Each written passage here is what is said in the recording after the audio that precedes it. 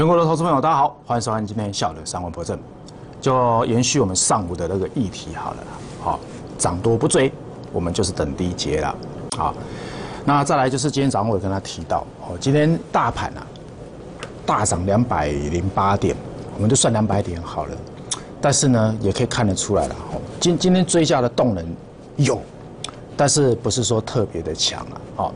那当然，今天指数贡献比较大的，可以看得出来，像呃 台积电啊，哦联电这些半导体的部分，哦，当然，呃，韩股今天也不错了，哦，韩股不错，你看像包括阳明啊，哦，这些都是持续走一个比较偏向于落后补涨了，哦，其实不可否认的啦，绝大部分的航运股，就像我上次跟他提到，大部分的钢铁股都在低档，所以当然这些这一波，我这么讲好了啦，你看从十月初。大盘落底到目前为止，吼，你看航运股基本上都没有什么动，所以他们现在稍微补涨一下，这也倒是可以接受的啦。但是我要提醒大家，落后补涨不表示等于会大涨。好，这个观念要有啊，不是说听到会涨就一定都会大涨。你你你不能拿其他像比如说，我我们打个比方好，比如说扎板三雄的南电，好，它这一波大涨百分之七十七。对不对？它这这这一波大涨百分之七十七呀，虽然这两天差了一点，弱了一点，但是别忘记哦，人家十月初是一度大涨百分之七十七啊。那你说现在你要拿杨明去跟他比，说哼，哪个把人弄在 K 七想，我啊这我们会 K 七想，难啊。闻道有先后嘛，对不对？基本面有专攻啊。高他们获利的情况是不太一样的，基本面也一样的嘛。如果说今天，当然了，如果说所有的类股都在十月初的时候大家一起大涨的话，我告诉你，今天大盘也不会只涨到一千一万五了，早就已经一万八了。就是因为这毕竟是一个空头市场的反弹，所以它反弹，它在涨的过程中有先后。但是不可否认的，先涨的它一定是最强的主流，越后面涨的它一定越不是主流。大家记不记得今年年初有没有印象？今年年初大盘在一万八千点的时候，还有还有没有印象？那个时候哪个类股是最后的补涨的？大家没印象？你们可能都忘了哈。我告诉你，元宇宙。好，今年年初的时候，最后一波补涨的啦。看位数会比较准，好，因为位数的高点是在一月份，是不是最后一个补涨的？之后，你看大盘就下来了，就一路这样跌跌跌跌跌跌，真的跌了十个月。这些股票是不是刚是都是在？你看元宇宙当初基本上每一档都是在十二月、十一，哎，有有的在十二月份见高点，有的是在一月份见高点。位数是最后一只见高点。我为什么要这样跟他提这个事情？因为他们毕竟是最后面才落后补涨的，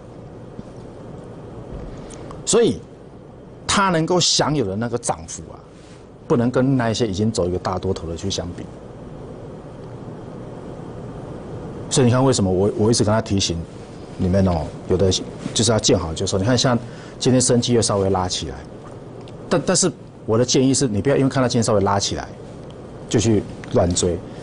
记不记得上礼拜军工股有一两天也拉得很强，有没有印象？我还有我还印象上礼拜我记得有来拿了。有两天吧，哇，军工股突然又拉，对不对？你看那个雷虎什么的，雷虎都不讲了啦。就这一天，金刚，我我说，如果你手上有的，最好趁那一天急拉赶快卖。果然，你看会下来。为什么我要建议你卖？所谓的震荡，当然啦，如果盘整是为了酝酿后面更大的行情，那当然，我认为以金刚来讲，现在拉回还是可以买。可是，如果你现在太盲目的急着去追它的话，你要先忍受短套，大家懂这个意思吧？其其实我我从来没有说军工股不能买啦，我是建议你们有赚的先卖吧，对不对？我我没有说不能买啦，我这么跟大家讲好了啦。你看哦，像金刚，我们是不是已经获利出清了？当它拉回叫完量说之后，你怎么知道我不会把它买回来？但是我为什么选择先卖？因为我不想要去忍受这将近一个月来的盘整，哎，盘那个月，你看，我我们在十二月，我也忘记我哪一天卖掉的，反正是月初卖的啦。好，我记得是在这一天卖，好像是十二月六号还是几号卖的。好，反正卖掉了。那那你你你想哦，如果我当初不卖，啊，不先落袋为安，不先持盈保泰，你想嘛？光金刚从十二月初盘到现在，哎，今年已经二十几号，二十二号，还没去高位呢，有必要把时间浪费在这一个月吗？你看哦，像这个也是一样的，我我再举个例，这个联勇最明显的，来，你看哦，联勇，好，这是我十一月初的杰作，好，这也是短线赚很快的股票，你看十一月四号二十三、二十五买进，然后呢，在十一月十八号，你看半个月左右就把它出清掉，三百一十三块出清掉，好，波段的价差。七十块赚七十块，投报率三成，接近三成。你看哦，十一月十八号卖的，我们有没有最高点的？这这天卖的，你看哦，你你们发现到林勇最近请问有没有大涨？是啊，也没有大跌啊，那也没有涨啊。那我问你，如果我不先把它卖掉，耗在这边的意义是什么？赌它会再涨，还是赌它会回档？没有意义嘛。这就是很多投资者他不能够他不懂的地方，就觉得说，反正当然啦，站在做波段的立场来讲的话，也也许不需要去理会这种短线的震荡，但是你牺牲掉的是所谓的时间价值啊。你看，我们把我在十一月份的时候把联友卖掉，哦，那时候就转去做什么博智啦，哦，还有去做其他像金刚这一些，都是对的啊，就一直。换股操作，换股操作，然后越滚越多，越赚越多啊！一直到上个礼拜，我开始几乎半清仓的状态，就在等嘛。那我在等什么？我在等看哪些类股压回完之后见买点嘛。秉持我一贯的风格嘛。什么风格？我就是不追高嘛。我就是要等很多股票拉回完之后，叫人量说开始重新布局嘛。所以，当你看到这一这两天这一些什么生机类股这一些哇，又干那西尊，说真的啦，想玩的人哈，当然我不我不反对啦哈。如果你质问你的短线，啊，你这个这个这个质问你这个技高人胆大，哦，你的技术有办法经得起这样的大这样子上冲下洗的话，那当然我不反对你今天去追逐啊。但是我只是要提醒大家。你在一个相对的高档玩哈，我我们我们我们不能说大盘这边是绝对的高档，可是有些股票它绝对是个高档。你在一个相对的高档玩，你所要承受的风险是绝对大于利润的。你看东哥游艇我把它卖掉，事实证明卖掉还是有涨，Kim 加紧呀，有有有意义吗？盘了盘了盘了往下破哇，本来可以大赚四成的。你看，还有可能变小赚，虽然也是赚，但是就像我讲的，你浪费的是一个时间的价值。吸干打个听好不？大家懂这个意思吗？时间，时间就是金钱啊！大家懂不懂？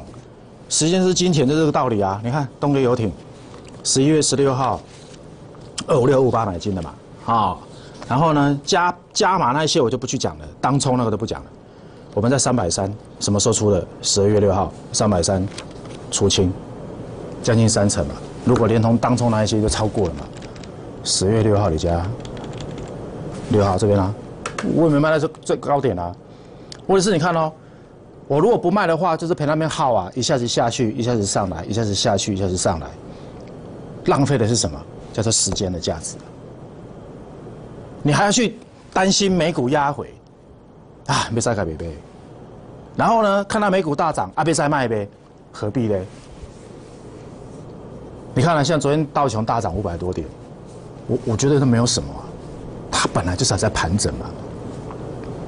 那你看昨天道琼大涨五百多点，今天也不是所有的股票都涨了，它还是出现那个分歧，大家懂吧？那那为什么出现这个分歧？好了，也许你觉得航运股可以当为主流，好，这个我没有话，我没有意见啊。短线的主流可以，但是中线的主流绝对不可能。好，老师，那那升气股又又今天又稍微起来了，可不可以当主流？勉强可以当主流，但是你这时候去追高就有风险了。所以你看，为什么今天要动到台积电不是没有原因的？你们知道为什么吗？因为它已经出现拉回了，懂吗？稍微拉回，稍微稳住，这是可以理解的。连电就稍微弱了一点，但是今天也是有稍微动到连电，对不对？那那为什么这个点他们要稍微会动？因为他们打回到一个重要的支撑嘛，这是可以理解的，大家懂不懂？达到支撑不表示一定会立刻大涨，它还是需要盘时间去去拖啦。就好比当初我们在做这个爱普的时候，大家没印象？在十月初做爱普，我问你，它有马上大涨吗？也没有啊，它也是稍微反复。你看打个 W 底完之后，哎，干嘛买了 Kitty？金价大探惊喜啊！不要激动啊，绝对不是在这里。智远也是啊，你看我们在一百二这边左右买的，也没有立刻大涨啊，它是慢慢涨。啊，事实证明，你看。这个大波段是不是全部都赚到？没错吧？还有当初的这个星星也是，好，你们看到也是一样。好，我当初布局的时候也是在一百多块左右，一百零八、一百零九的样子吧。那是不是刚好赚到这一段？那后面这段就算了，被这段把狼被矮好了呀。金居也是啊，金居我买的真的很漂亮，三十七块这边买的，赚这一段。后面这两段我都跟我没关系啊！我老实讲，这后面这这一段跟我没有关系，我们这边就卖掉了，早就出清了。是不是把最好赚的那一段扣住就够了？大家懂这道理吧？我不反对大家做股票追求极致，啊，比如说你买了十张，你你可以留一两张跟他赌最高点，这个我我可以接受。好，真的。我帮很多人持股诊断哈，我我发现到大家都有个习惯，啊，每次卖掉就涨，所以后来他们就习惯都不卖股票，结果习惯不卖股票的结果，买了十张赚了七张，可是后面三张赚的还不够去补前面三七张赚的，大家懂这个意思吗？我也不要点名是是什么股票了哦，因为我之前帮有些人只能持股诊断，我就发现到，哎，姐姐你这个股票都赚钱的啊，安安乃莫阿兵了解。那就是因为卖掉之后，股票又涨，又把它买回来，啊，本身不卖，打回到自己的买进的成本，就觉得说啊，我在高点没，我我可以五十块不卖，现在升四十块，我为什么要卖？就后来跌到三十块，他就更不会卖了，然后就还是安慰自己，我做波段后啊，做长期投资好了，反正会配股配息嘛。很多投资人就是这样子钱输掉的，不一定跟大盘有关系，这其实是自己的问题，大家懂不懂？所以，为了要能够克服大家心里面这种这个魔障啊，为什么要说是魔障？你要懂得会卖股票啊！你看啊，今天大盘大涨两百点，这个还跌啊？为什么？按理来讲啊，它就算不大涨，也不应该跌吧？但是为什么会跌？这就是我们看事情角度的不同吧。当宏观在大涨的时候，我支持大家去买。可是呢，我在节目上有讲哦，当我在卖的时候，我建议你们不要乱追了。事实证明啊，你看我们宏观卖的非常的标准了。你看，十一月十号星期六，哦，分享的，好，这是公开分享的，好，节目上也有也有分享，然后呢，在粉丝专业上面也有分享。好，那你看哦，我们是在十一月底的时候，一三九一百四买进宏观的，好，然后呢？加码的那些我就不管了，好，十二月六号那一天，有没有看到月初的时候一百九十块，全数获利出清，宏观赚的跟刚刚我们看那个呃联勇是差不多的，好，波段的套利五十一块，再不包括什么隔日冲啊那一些的，报酬率三十七，也不多啦，好也不多，但是你看哦，我们是卖到一百九，今天的宏观剩一百六十三了，十二月六号卖的嘛。六号在这里，马博伟的熊玩掉吗？我我我跟你讲哈，我有很多股票买在相对的低点，那是因为很早就买。好，但是我承认我有很多的股票并没有卖在相对的高点，但是我认为卖都是对的。你自己看是不是下来，大家懂这个意意思了吧？今天当然啦，我我我是建议大家啦，好。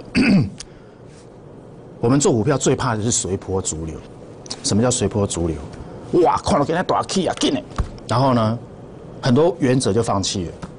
进买啦，老师进来要买啥啦？进来啦，你 K 啊，人能八点嘛，无买股票买晒啦。那万一明天大跌一百点嘞？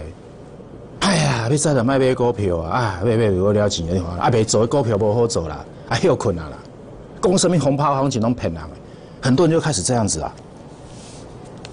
那为为什么会有这一？你为什么很多人会有这样这样子的一个这个这个这种抱怨出来？就是因为很多人已经习惯见涨追涨，见跌杀跌嘛。他没有一套准则在，大家懂吧？假如说你问我，周老师，那你现在的准则是什么？我现在准则很简单啊，反正我们高档卖了一堆股票嘛，对不？我们高档卖了一堆股票，好，我你也不用问我会不会去买什么航运股之类的啦，好，也不要去问我会不会买什么钢铁股之类的，在我心里面我自己有一把尺啊，什么尺？在这里啊，这是我心里心目中的一把尺啊。为什么要买这个股票？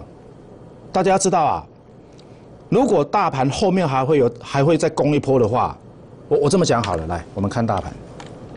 这两天大盘是不是压回？对不对？好，是不是压回整理？台积电、联电这些股票是不是也拉回整理？好，我们讲一些比较基本面的股票嘛。联发科是不是也拉回整理？大家知道我长久以来很习惯看联发科，所以当联发科涨不动的时候，我一定会卖股票。它是我的一个什么明灯？大家懂不懂？这是个标杆呐，一个一个算是一个有指标。意义的一个一档个股，也许有的人会看什么，可能每个人看的习惯不同啊，有有人看红海，可能有人看其他的股票，但是因为我要做 IC 设计，我肯定要看联发科的。那当联发科开始出现涨不动拉回的时候，你想嘛，其他的徒子徒孙凭什么会大涨？的中央 A key，我跟你讲，那都是就像宏观一样，做最后一波的拉的那个那个那个算。好了，你要说这样逃命反弹也可以啦。拉完之后，我跟你讲，不管三十页，它是下来了。那为什么会跟着下来？因为联发科下来嘛。所以，如果你问我说我现在在等什么，我也不会因为今天大盘大涨两百点改变我的作战计划，不会，不需要，也没有必要。因为我所要买的，我所选定的股票，已经在打底了。那这样子的股票。为什么值得我们留意？理由很简单，营收。大家知道啊，能够走主升段的股票啊，有一个特色，它的营收只能成长，不能衰退啊，不然凭什么会有主升段的架构？进广告，等下回来继续聊。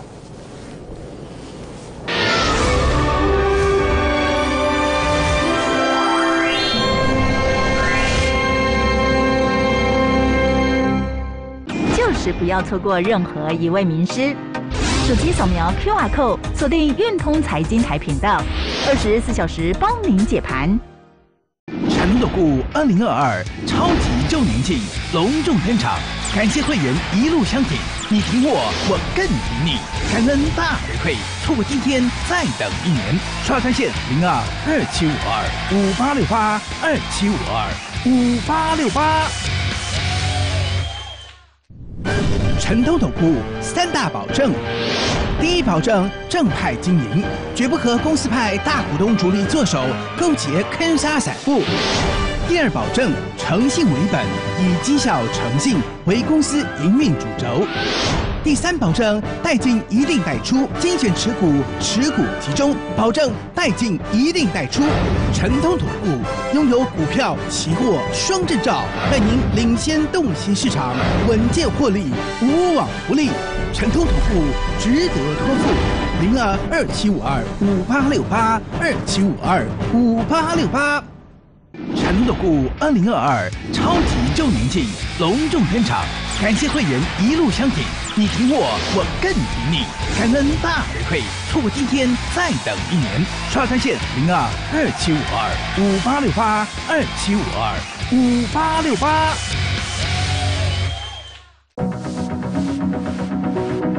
当国民法官开庭得跟公司请假，但是我还在试用期，啊，怎么办呢？不用担心啦，按规定你担任国民法官，老板应该给你公假。而且不得秋后算账，好像有这项规定。安呢？哎，吴总，你哎哎哎哎，外枪外枪。国民法官需要您一起参与。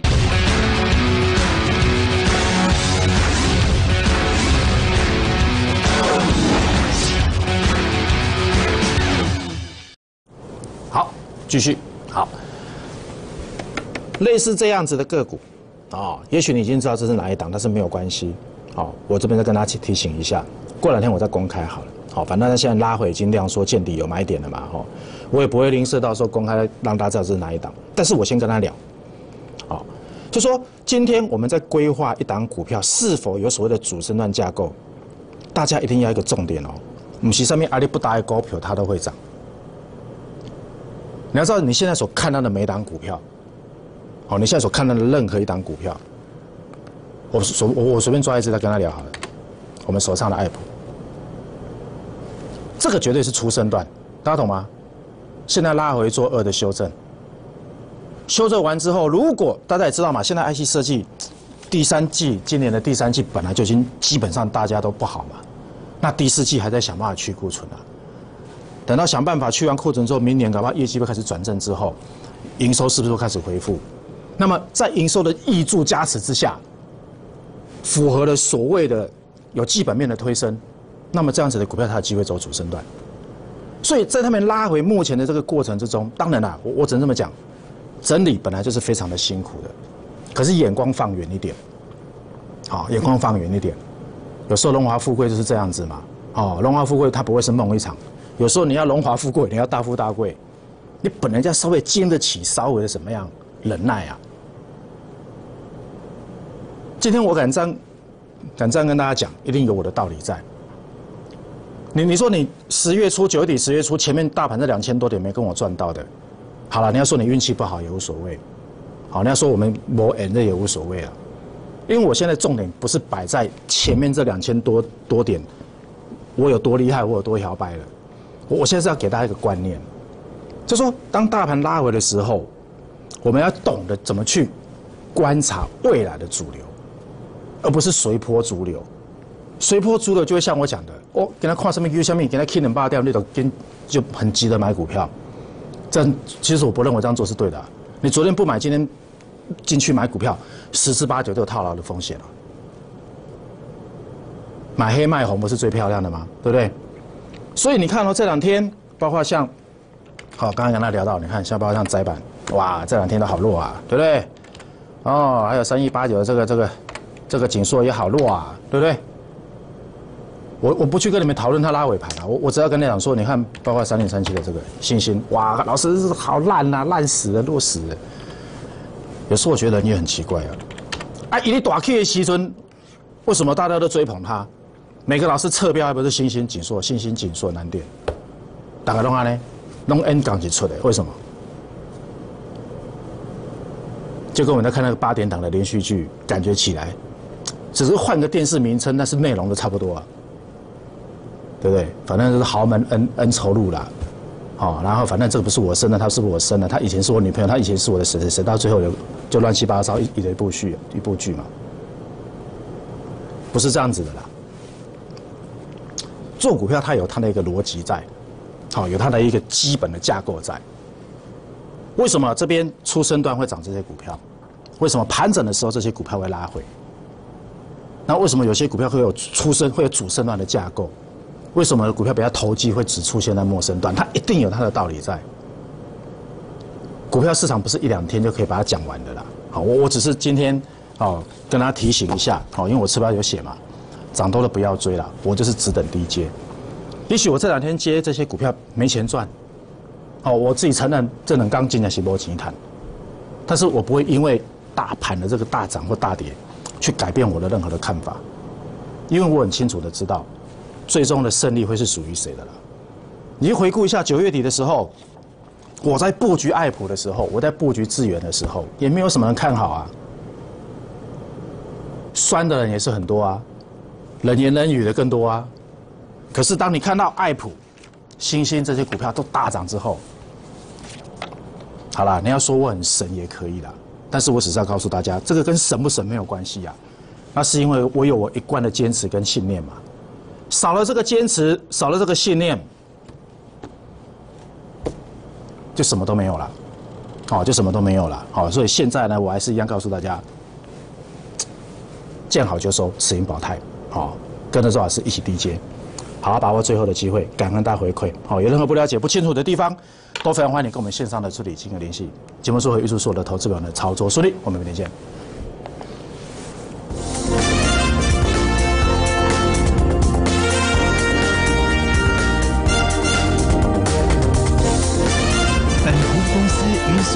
分期之客也有大证券无不当之财务利益关系，以往之绩效不保证未来获利。本节目资料仅供参考，投资人应独立判断、审慎评估并自负投资风险。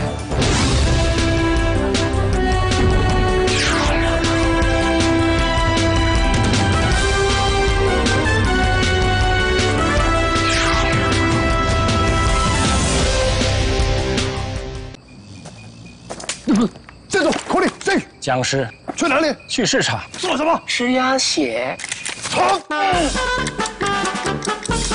啊！找道长，冲！不然是什么？你说，看牙医。错，炒大肠。僵尸，炒大肠，你饿了吗？精力充沛，你怎么知道？我每天都马在这，不应该没。保利达蛮牛。成都股二零二二超级周年庆隆重登场，感谢会员一路相挺，你挺我，我更挺你，感恩大回馈，错过今天再等一年。刷专线零二二七五二五八六八二七五二五八六八。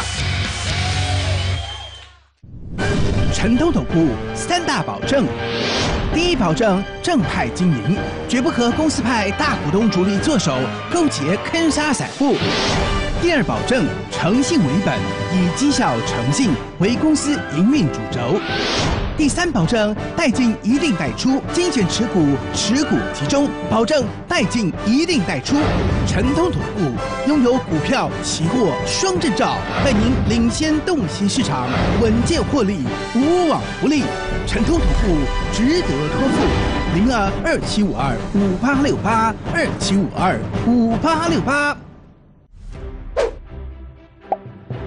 订阅台股好事多，任何时间、任何地点，一机在手，走到哪儿看到哪儿。YouTube 每周产业分析，专业分析师为您解析。扫描 QR code 订阅台股好事多，让您不再错过精彩节目。